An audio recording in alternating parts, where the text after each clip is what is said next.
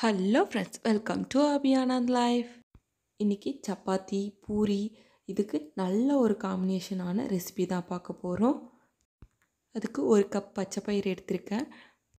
நல்லா வாஷ் பண்ணிவிட்டு தேவையான அளவு தண்ணி சேர்த்திட்டு லைட்டாக உப்பு சேர்த்திக்குவோம்.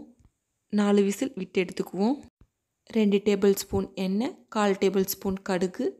கடுகு நல்லா பொரிஞ்சதும் சின்ன சின்னதாக கட் பண்ணி வச்சுருக்கேன் வெங்காயம் சேர்த்திக்கலாம். கருவேப்பிலை கொஞ்சம் சேர்த்திக்குவோம். வெங்காயம் நல்லா வணங்கட்டும். நல்லா வணங்கினதும் வரமிளகா ரெண்டு கொத்தமல்லி தலை கொஞ்சமாக எண்ணெயிலே நல்லா வணக்கி எடுத்துக்குவோம்.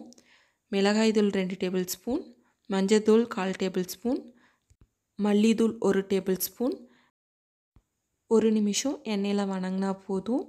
தக்காளி ரெண்டு கட் பண்ணி வச்சுருக்கேன். அதை சேர்த்திக்கலாம். தக்காளி நல்லா வணங்கினதும் ஒரு டேபிள் ஸ்பூன் இஞ்சி பூண்டு பேஸ்ட் எடுத்துக்குவோம். அது நல்லா பச்சை வாசனை போகிற வரையும் வணக்கி எடுத்துக்கலாம். இப்போது நம்ம வேக வச்சு எடுத்து வச்சுருக்க பச்சை பயிரை நம்ம சேர்த்திக்குவோம். எண்ணெயில் நல்லா மிக்ஸ் பண்ணி விட்டுட்டு அதுக்கப்புறம் தண்ணி சேர்த்திக்கலாம். தேவையான அளவு தண்ணி சேர்த்திக்கலாம். உப்பு காரம்லாம் கரெக்டாக இருக்கான்னு செக் பண்ணி பார்த்துட்டு தேவையாக இருந்தால் உப்பு சேர்த்திக்கோங்க. பச்சை பயிரில் உப்பு சேர்த்திருக்கனால பார்த்து உப்பு சேர்த்திக்கோங்க. நிறைய நேரம் கொதிக்க வேண்டாம். ஒரு கொதி வந்ததும் போதும். தேவைப்பட்டால் கீ சேர்த்திக்கோங்க. நம்மளுடைய சுவையான பச்சை பயிர் சாம்பார் ரெடி.